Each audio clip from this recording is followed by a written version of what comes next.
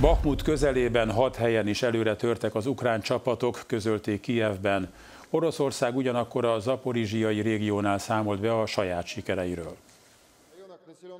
Az ukrán támadások visszaverését jelentette az orosz hadsereg több fronton, köztük a Donetszki, Kupjanszki és Zaporizsiai régiókban.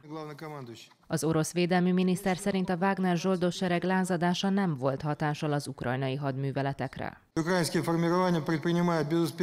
Az ukrán egységek sikertelen támadásokat indítottak. Az orosz fegyveres erők 15 repülőt, 3 helikoptert és 920 páncélozott felszerelést, köztük 16 leopárd tankot semmisítettek meg. Ez gyakorlatilag az összes ilyen típusú tank, amelyet Lengyelország és Portugália küldött az országnak, jelentette ki Szergej Sojgu. Kieve közben légi, tüzérségi és rakéta támadásokról számolt be az orosz állások ellen. Nem fogja az ellenség diktálni a feltételeket a Fekete-tengernél. A megszállók félnek attól, hogy az ukrán krím és az azovi tenger ukrán partjaihoz merészkedjenek, ugyanúgy, ahogy az orosz hajók félnek a Fekete-tengeri partunkhoz közelíteni, mondta Volodymyr Zelenszky ukrán elnök.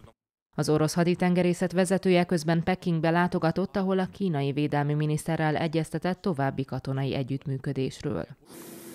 Ezzel egy időben a Kreml azt közölte, hogy nincs előrelépés a gabona szállítási megállapodás ügyében. A mostani egyezmény értelmében Oroszország garantálja az ukrán gabonát szállító hajók biztonságát a Fekete-tengeren.